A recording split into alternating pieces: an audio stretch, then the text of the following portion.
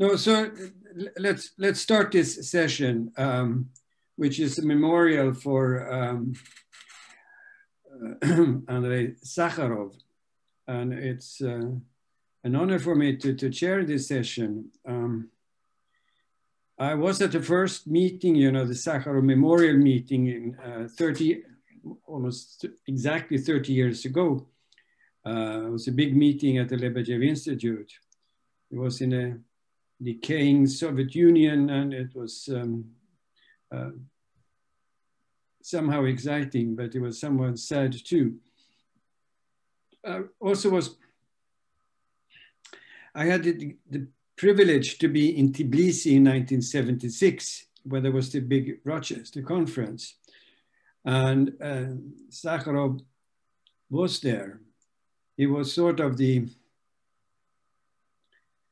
king of the meeting, or how you should say it. I mean, he was floating around, and um, I, I, remember at some stage he, um, I think it was Ludwig Faddeev giving a talk, and the room was completely full. And Sakharov came in a few minutes late. There was nowhere to sit, and in no time, you know, there were you know, 10 people running out of the room, finding a chair, putting him in front of it and, and uh, so he could sit there.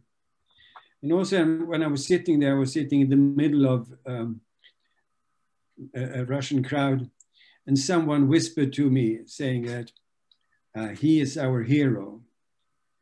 And a hero he was, and, and it will be very interesting to hear you, Boris, uh, to, to talk about Andrei Sakharov. So please go ahead. Thank you.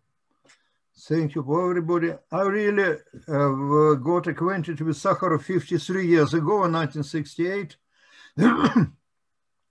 and uh, before that, my father worked with him for many years in installation nuclear. so I have something to tell. My talk is called The Genius of a Design Engineer, Bomb, Universe, Human Society to the Andrei Sakharov Centenary. So Sakharov always was involved in something very, very huge. Hydrogen bomb, universe, the construction of its, designing of its creation, and also designing of human rights society. Andrei Sakharov died more than 30 years ago. Why is he important today? Here I'll try to show that his public, moral, and scientific legacy, the first two being intimately connected, are essentially relevant today. Surely it's amazing by itself that the creator of the most terrible weapon in the history of mankind became the Nobel Peace Prize winner. Sakharov's fate is, one might say, an exciting detective story, a chain of incredible events, not accidental, however, but dictated by the genius and fortitude of the protagonist. His special role became even more visible after Sakharov's KGB of USSR and Politburo documents were recently declassified. They showed that Sakharov was considered an expert by all ever-changing leaders of the USSR, from Lavrenti Beria to Mikhail Gorbachev. In 1948 to 1967, he was an expert on nuclear armament. But in 1968, to his death in 1989, he became an expert on nuclear disarmament, on the international security, and on saving the mankind from the suicide of a thermonuclear war. His proposals were studied and some of them were even implemented by the government. This, however, has not yet guaranteed the personal safety and safety of Sakharov's loved ones, who became the hostage of, of his public activities. And also the fact that his proposals were not implement, were implemented were not a guarantee that the real politics followed implemented by the leaders. It was the guarantee that real politics followed it. We shall see it. Sakharov never belonged to any state power structure. He even was not a member of Communist Party. He rejected not once said to him proposals, politely and firmly rejected. He always remained an independent expert. I now quote his rather exact joke. I am not on the top floor. He meant the top floor of the political power. I am not on the top floor. I am next to the top floor, on the other side of the window. Isn't it an extremely dangerous position on the enormous height on the other side of the window? This Sakharov's joke accurately reflects the uniqueness and irrationality of his status, which has become his fate. To tell truth, Sakharov was saved in extreme situation in exile only thanks to the support of Western colleagues. I personally also was not arrested thanks to this support. I take a chance to tell my gratitude to John Archibald Wheeler, Joel Lebowitz, David Finkelstein, and many others. Thank you. And we still do not fully understand the mechanism of the influence of this support on the Soviet ruling elite. But we know that it worked. It looked like a miracle, but this was an observable fact confirmed by the repeated experiments. Now in short about the very beginning of the first Sakharov's wonder when simple young researcher, just PhD, became so important for Kremlin tops. It is well known that in 1945, some scientists, participants of the US Manhattan Project, being convinced in the necessity to restore nuclear balance of the former anti-Hitler allies, anti-Hitler coalition allies, and with great risk for their lives, gave to Soviet intelligence secrets of the first US atomic bomb and of the first ideas of super hydrogen bomb. This super proved to be the dead early construction in the USA and the USSR as well. Sakharov was involved in this work in the early 1948 and very quickly, in two months, he suggested the H-bomb construction quite different from American super. Here you see the model of Sakharov-Ginzburg Sloika from Russian, Sloika from Russian Sloy, layer. Now this is Sloika. I must tell you that this picture was made from many open publications, but the sizes are top secret and will be top secret forever. Vitaly Ginzburg, Nobel Prize winner, as you know, from theoretical department, proposed to use lithium-6 deuteride as a fusion fuel, whereas Sakharov proposed to alternate layers of lithium-6 deuteride with layers of the heavy element uranium-238. The idea was untrivial. After the outer layer of the ordinary explosives is initiated, you see, and then the shock wave makes the central A bomb, central A bomb, this uran, uranium-235 or plutonium to explode, atomic explosion, the temperature of that immediate layers reaches millions of degrees. And this compresses the fusion fuel by an additional 10 times. Why? Because of the full because of the full ionization on the equal and because of the equality of pressures of electron gases of heavy element uranium-278 and light element deuterium lithium-6 deuterium. So uh, because number of electrons in uran, uranium is about 10 times or more uh, larger than number of electrons around light elements, it's automatically, it's compressed in equilibrium. Very trivial idea. It's called by colleagues Sakharization. Government approved this direction of work, and since then Sakharov gradually became becomes v, VIP nuclear scientist for the Kremlin. His postgraduate mate in the Lebedev Institute, Matvey Rabinovich, remembers in the book Facets of a Life, which we compiled in 1991 about Sakharov. Once Andrei told me, this sort of things happens. I'm often asked to the Kremlin to a meeting. It goes on usually until four in the morning. That's the whole night. Then they all go to their cars, but I haven't got a car. And nobody knows that I haven't got a car. And I don't tell anyone. It means that I have somehow or other to get from the Kremlin to Oktyabrskaya Pole, and this is at home at least 12 kilometers or perhaps 15. So if he doesn't get a taxi, he had to walk it. An unrealized idea is not an idea yet, Sakharov used to tell. I heard this phrase, I unrealized, an unrealized idea is not an idea yet. I heard this phrase from Sakharov more than once, and he knew what he was talking about. From the first ideas of this H-bomb to its successful test on the August 12, 1953, there were five years of the plural creative work where many famous physicists were involved, like Igor Tamm, Lev Landau, etc. Sakharov was a key figure of this creative process. I'll say now a few words about Igor Tamm.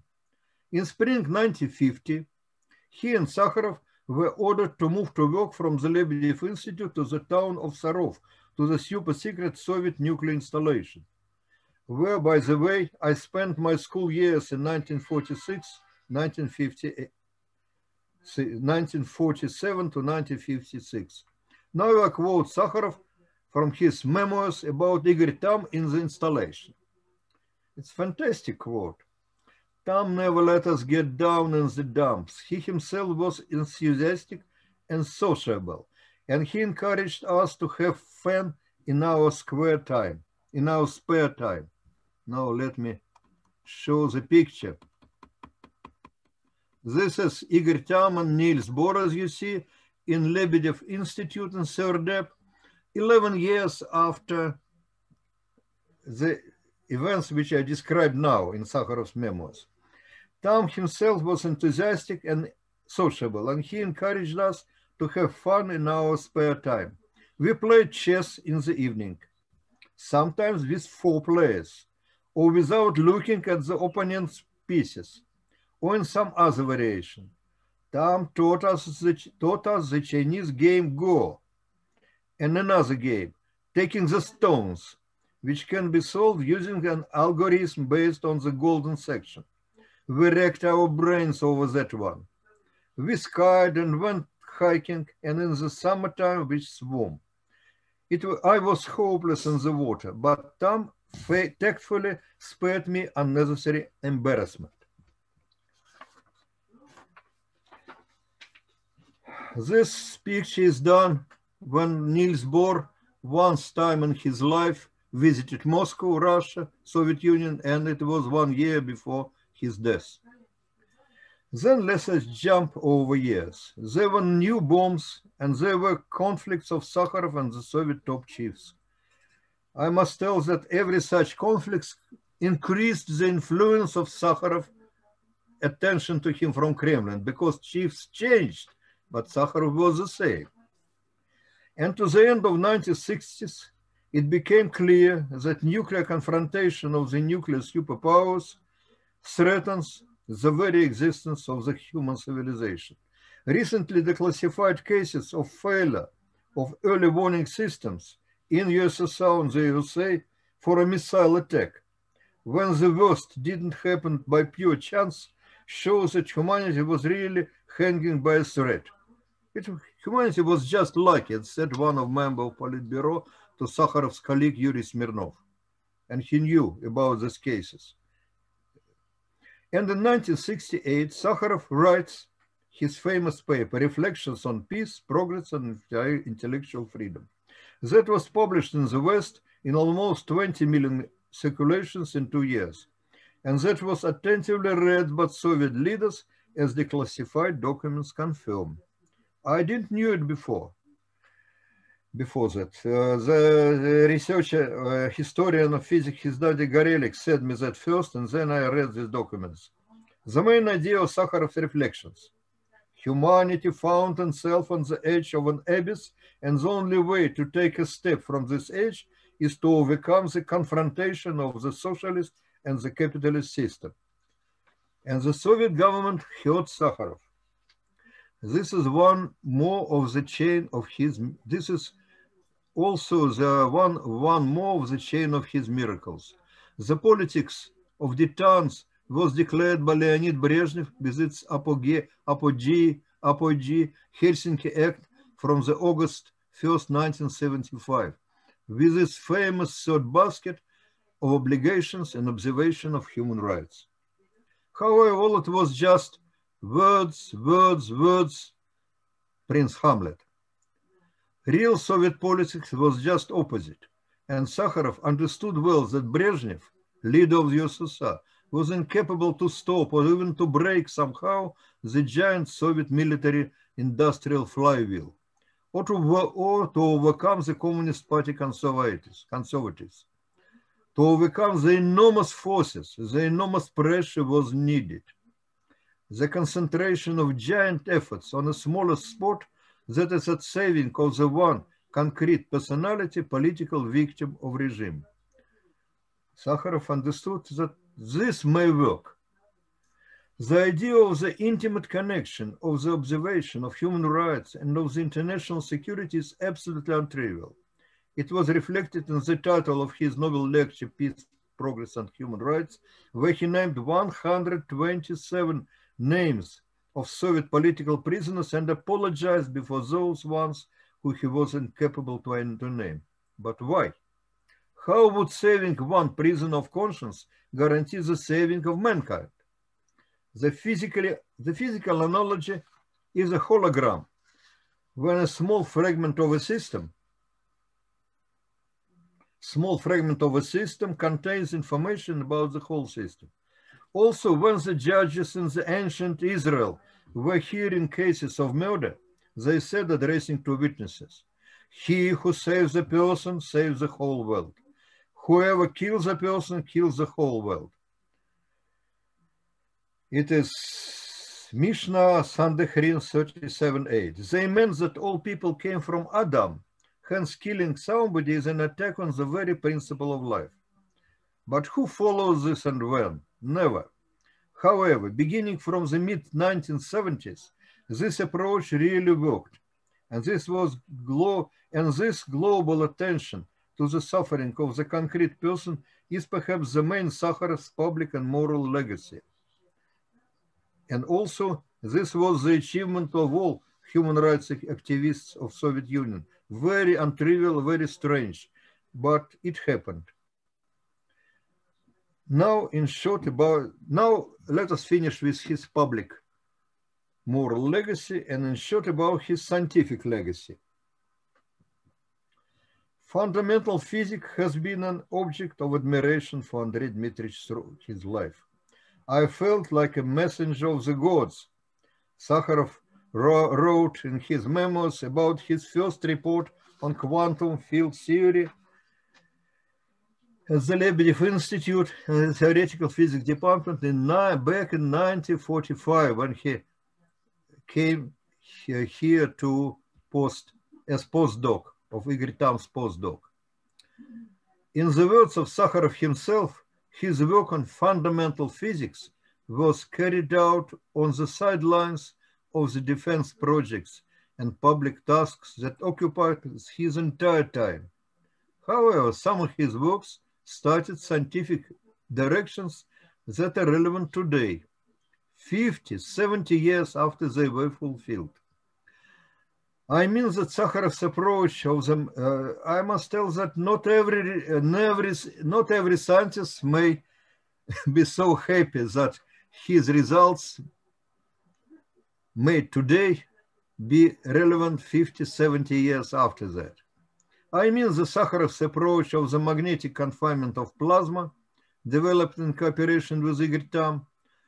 Those are also dynamical explanation of the baryonic symmetry of the universe, Sakharov's baryonic oscillations, induced gravity,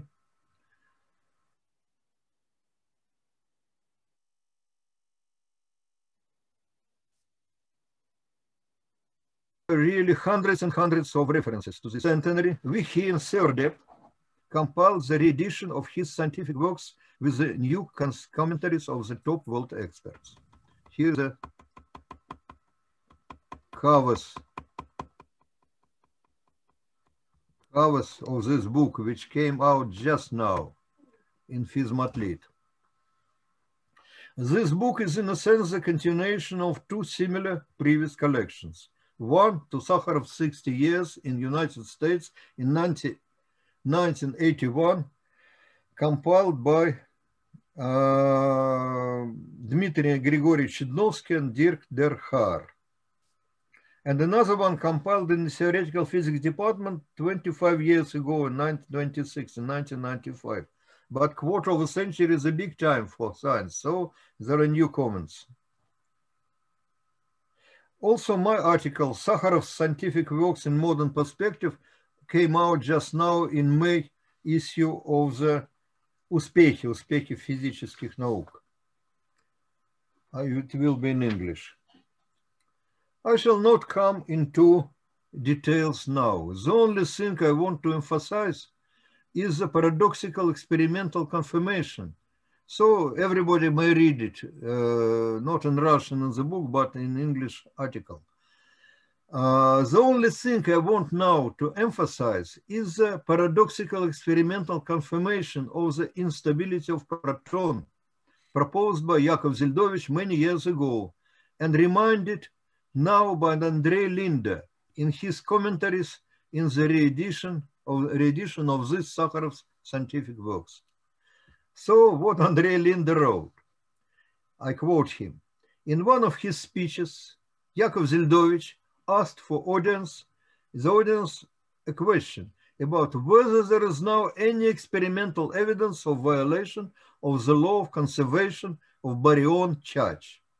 The naive answer is negative. The search for proton decay hasn't yield, yielded any results so far. But Zeldovich gave a different answer, which are given a slightly modified form, emphasizing its paradoxicality. The fact that parallel lines do not intersect serves as experimental evidence in favor of non-conservation of the baryon, baryon charge. The end of quotation of Andrei Linde and Zeldovich. I'll explain. Parallel lines do not intersect in the flat model of the universe, which unambiguously follows from the theory of initial inflation. But this inflation inevitably evens out any homogeneous asymmetries. In the theory of inflation, the observable universe arose from a strictly charge-symmetric initial vacuum state. This means that the baryon asymmetry of our universe could arise only dynamically. That, that is according to Sakharov. But, however, until now, it hasn't been possible to propose a convincing theoretical scenario in which all three of the uh, of the famous conditions of Sakharov would be fulfilled. I don't list it here. Moreover, today we can say with confidence that such a scenario is impossible within the framework of the standard model of elementary particles. Theorists are considering different versions of the standard model generalization which makes make it possible to explain the baryon symmetry of the universe. Now let me now share some pieces by the oldest colleague in CRD, Boris Mikhailovich Bolotovsky, who unfortunately passed away two days ago in the May 28. This is from his remembrance on the visit to Sakharov in exile in November 12, 1984, soon after Sakharov's four-month stay in hospital because of his hunger strike. So this is from Faces of Life. There were two of them who visited Sakharov, Boris Bolotovsky and Yefim Fradkin, who you remember well.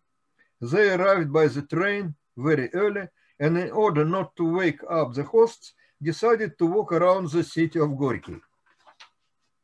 This is Boris Bolotovsky, who passed away in, 90, in the age 92, unfortunately, two days ago. I must tell from terrible COVID, he died. We wandered around the neighborhood entering food stores. What we saw there didn't make us happy. There was no cheese, no butter, no meat. I remembered the joke I heard before the trip. Information from Gorky. Academician Sakharov stopped his hunger strike. The rest of population of Gorky continues to starve. Sakharov was very much interested in Fradkin's works on the string theory. On November 12, they discussed it for hours. Bolotovsky. Then Yefim, Yefim Fratk, then Yefim started talking about his own works. And again, Andrei Dmitrievich was not a passive listener. He bombarded Yefim with questions and was not satisfied with the answers. More than once, Yefim tried to explain by writing the formulas, by writing out formulas, thinking formulas would be more convincing than words. But each time Sakharov said, wait a minute, Fima. They were in acquaintance beginning from 1945. Wait a minute, Fima, and asked more and more questions. At last, Yefim begged for mercy. Andrei Dmitrich, let me write the formula. Everything will be clear then, he said. No, Fima, Andrei Dmitrich objected. Tell me about the problems once again. Maybe after that I won't look at your formulas at all. At last, Andrei Dmitrievich and Yefim became, came to a verbal agreement and Yefim began writing out formulas.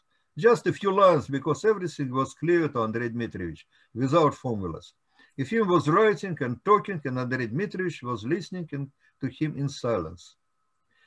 Now, in conclusion, some statements about Sakharov and by Sakharov himself. This is a photo by Sakharov, 1987, soon after his return from exile by Yuri Rost. Edward Teller. My brief personal contact with Sakharov convinced me of something I had earlier suspected. Sakharov was an optimist. I also consider myself, and myself an optimist. I consider optimism a necessary virtue. A pessimist is a person who is always right, but gets no enjoyment from it. An optimist is a person who believes that the future is uncertain and does his best to bring about an improvement.